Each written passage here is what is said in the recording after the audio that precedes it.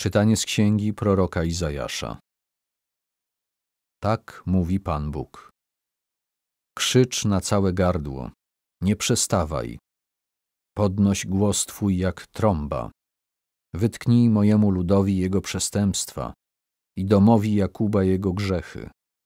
Szukają mnie dzień za dniem, pragną poznać moje drogi, jak naród, który kocha sprawiedliwość i nie porzuca prawa swego Boga. Proszą mnie o sprawiedliwe prawa, pragną bliskości Boga. Czemu pościliśmy, a Ty nie wejrzałeś? Umartwialiśmy siebie, a Ty tego nie uznałeś. Otóż w dzień Waszego postu Wy znajdujecie sobie zajęcie i uciskacie wszystkich swoich robotników. Otóż pościcie wśród waśni i sporów i wśród niegodziwego walenia pięścią.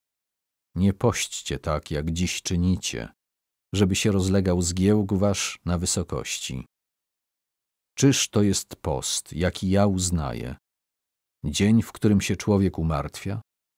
Czy zwieszanie głowy jak sitowie i użycie woru z popiołem za posłanie, czyż to nazwiesz postem i dniem miłym Panu?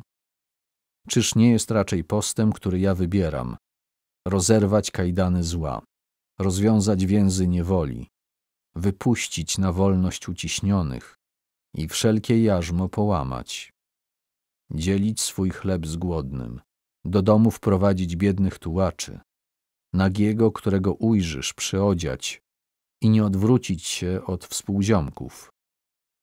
Wtedy Twoje światło wzejdzie jak zorza i szybko rozkwitnie Twe zdrowie.